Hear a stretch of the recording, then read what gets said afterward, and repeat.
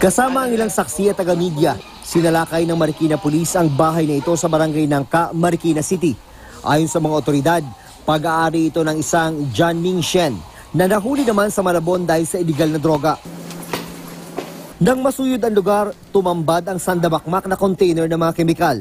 Kukuha ng sample tong kasama natin sa suko at ipra-process nga. Titignan kung anong klaseng mga chemical nga to. Susuriin din ang mga makinang natatakpan ng asul na lona.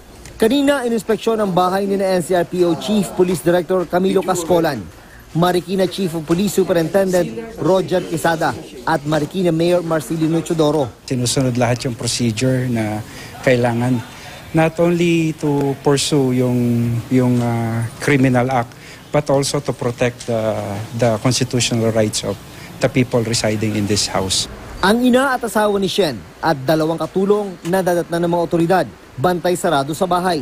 Nagpatawag na rin ang mga kinatawan sa Chinese Embassy para mas magkaintindihan sa investigasyon. Sana ho, yung ah, lahat ng komunidad ay magbigay ng impormasyon kung anuman po ang mga nangyayaring hindi ka nais-nais sa inyong mga lugar, i-report nyo po kaagad sa kapulisan.